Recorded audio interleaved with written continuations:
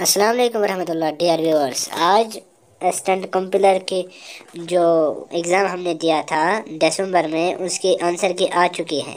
Link है इस description में।